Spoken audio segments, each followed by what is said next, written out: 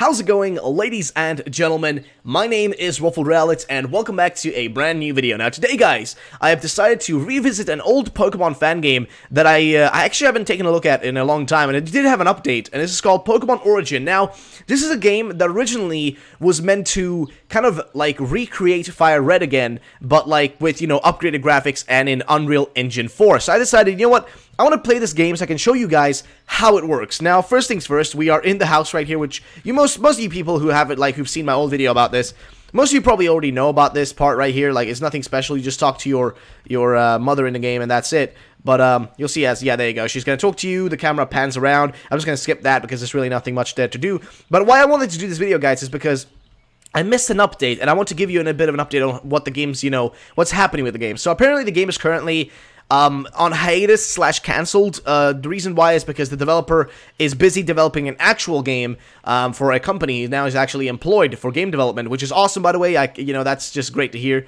Um, but like he's currently doing that, so he's unable to continue working on the game. And also, the other point is this game is kind of what I would imagine uh, graphics. I mean, if they're using Unreal Engine, I wouldn't be surprised if they were to use this. Now, this is how kind of upscaled models from like Sun and Moon and stuff. Actually, these are from Pokemon Go, I think specifically, but they have like custom animations and stuff for them. I think these are from Pokemon Go. I may be wrong though.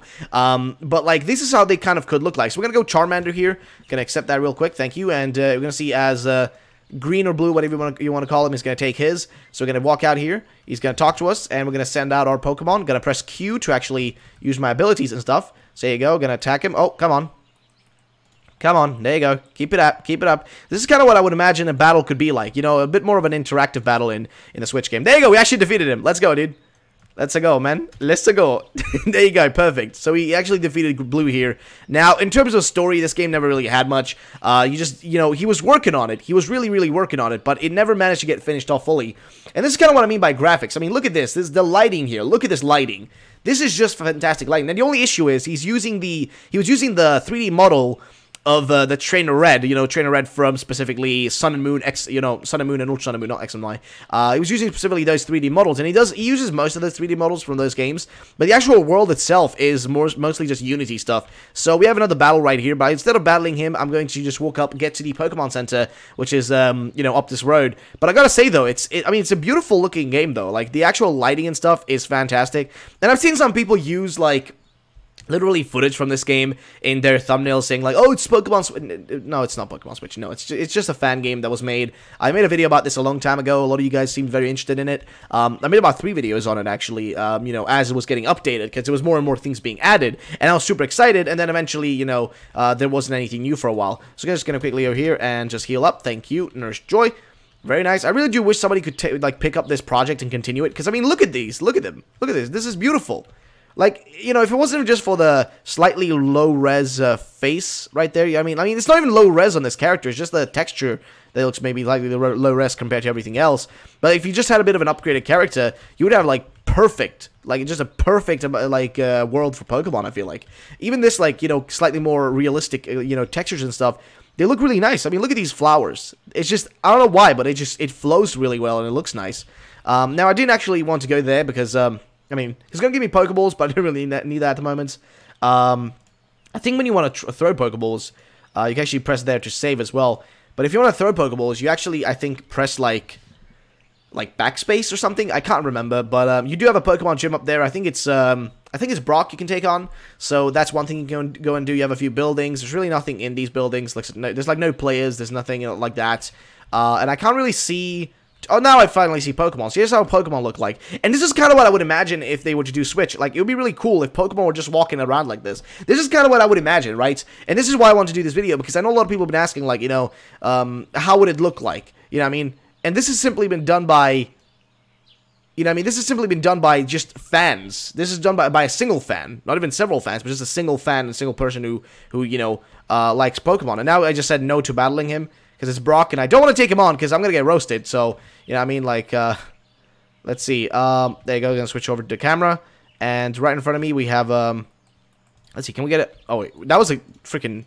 Okay, now we actually hit him. There you go, there's Flamethrower. So you have four moves. It's one, two, three, four on the keyboard. And this game only works on PC, by the way, if you want to try it out. But again, it's a good kind of game to play if you want to kind of see what it could work like.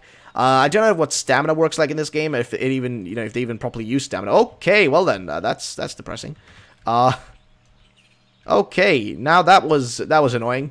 Wish I didn't have to, uh, you know, deal with fainting Pokemon. Actually, you don't get sent to the Pokemon Center when you get fainted Pokemon. You actually have to walk back there, which is, uh, you know, it's it's whatever. It's just a short little game, a short little demo, so to say. Um, but in general, though, I want to just point out this game is that it has a lot to offer. And if you want to see, like, kind of what Unreal Engine can do in terms of, you know, Pokemon fan games and stuff and that sort of stuff, then this is it, right? This is kind of like, you know, the graphics you can kind of expect. Because Unreal Engine is fantastic. I mean, the Unreal Engine has everything from like the the the Fortnites of the world all the way to the PUBGs of the world. You know what I mean? Like they they have the graphics they go from one thing to another pretty drastically. You know what I mean? So it's oh boy, we just got fully destroyed again by a freaking dude. What's with these Weedles? Then they were not this strong last time around.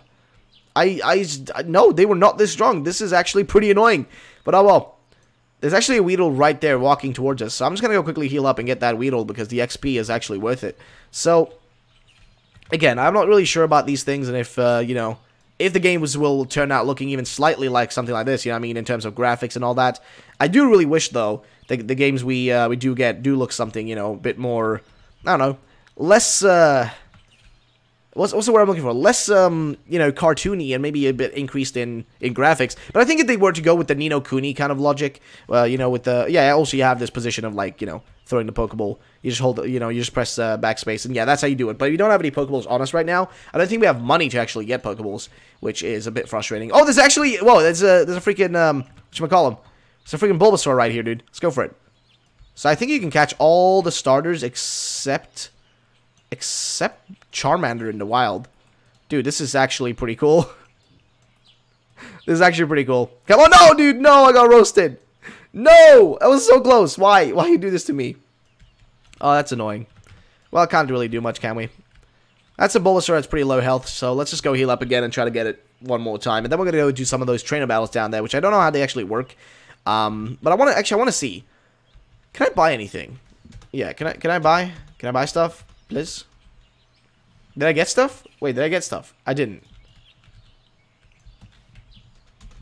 No, nothing happens. I think I can't do much here. Huh. Well, now I feel like I'm stuck. Oh, no, we can go out. See, the, the game has a lot of these things that happen where you get kind of stuck in places, what it's kind of whatever. But in terms of graphics, though, I think the lighting in this is perfect. It looks really nice. The actual, like, world itself that he started building was pretty, pretty lush and beautiful, but then again, never got finished which is the the issue really. If it if it ever got you know continued and whatnot, it would have been awesome. But I know he did get some issues with Nintendo as well. Um, you know, I think his mega upload of the game was actually taken down originally, but then he was able to put it up again. But um, I don't know. It's uh, it's depressing to see these sort of projects, you know, not get finished off because there's so many of them out there, but they never always get, you know, they don't always get finished off, and that's kind of like what kind of I don't know. It brings me down a bit because I really wish uh, that they were finished or like continued because that would just be great for like all of us because we'll be experiencing more stuff than just what we have currently. So let's just go here. And he's going to throw out his uh, Pokemon. Oh boy, let's go. Dude, no, no, no, no, no, no, no. Not this bug again. Okay, let's go. Now we can do this. Oh my god, dude. How am I supposed to do anything against a freaking this squirrel, man? I mean, we're a higher level, but like, I just don't, don't feel like we're going to be able to beat this. No, we, we ain't. We ain't. We ain't beating nothing. And now the squirrel is going all spasming out and shit. That's just weird. I'm just gonna go heal up real quick and come back to this battle, dude. That squirrel's still standing there. It's still fighting itself, dude. What is it fighting? This is, I mean, this is kind of funny though because there's there are a lot of bugs that were not hashed out fully with the you know last release I saw, um, and I, I think this is the the last release that was given with updates and stuff. And if you guys want to see me play more of this and just trying to level up and trying to take on Brock and see what turns out there, because I haven't actually beaten Brock a single time and, you know, while testing this game out, I've never actually beaten him, so I want to ask you guys, do you want to see me actually play through more of this and actually beat Brock and see what happens?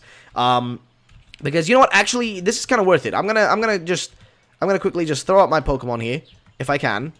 Okay, oh boy, dude, this, this freaking Squirtle is just, wow. That Squirtle was not really nice.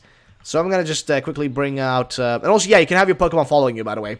So I'm just saying, if they can make Pokemon follow you, which I forgot to mention earlier, they can make Pokemon follow you in this game, you know what I mean? And also have the uh, camera position something like this right behind the character, which I think would fit perfect, by the way. Like, I don't understand.